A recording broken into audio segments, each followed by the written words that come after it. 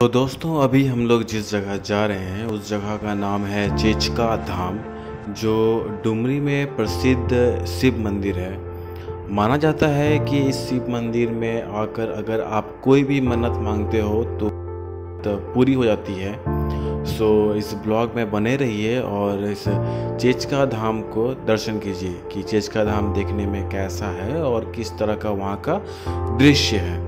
और मैं description box में आपका मैप लोकेशन का लिंक दे दूँगा सो आप वहाँ से आपको रूट मैप मिल जाएगा।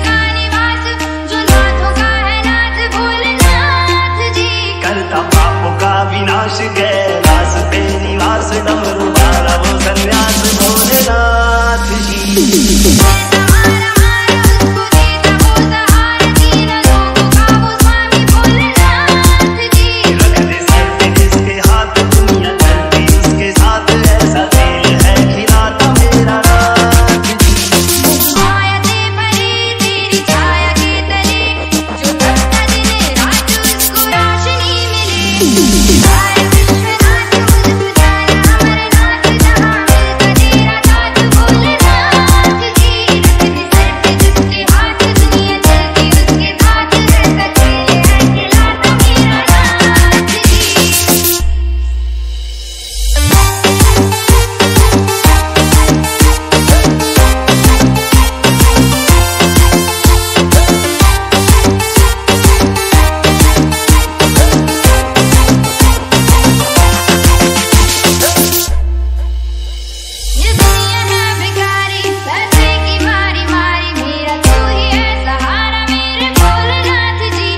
मेरा हाथ ले तू थाम बाबा